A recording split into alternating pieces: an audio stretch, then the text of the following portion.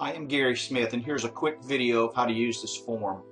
You'll need to click this visit this link right here and it will take you to this form on Google and you are to enter the amount you need here and add your local cost here.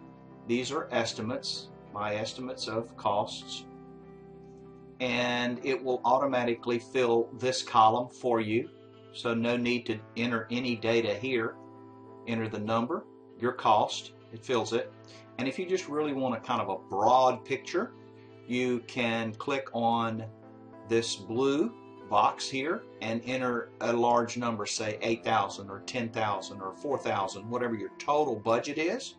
It will break down that budget into the percentages shown that are national percentages. Okay, we're in the live uh, form here over on Google, and let's just enter some example data. Let's say we need uh, five of this at a cost of 30, and our budget, as you can see, is filled in for us. So you would move down the line and fill in what you felt like was um, what you needed. Or if you thought you wanted to know the total budget and you had, say, $5,000 to spend on your project, uh, when you enter the number, it breaks this down for you for using national averages. Um, so if you, um, here are our national averages right here for labor.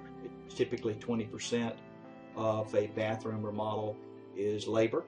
So it gives you some idea of what you can expect to pay for or be budgeting budgeting for um, for these line items using this total. Um, have fun with the form.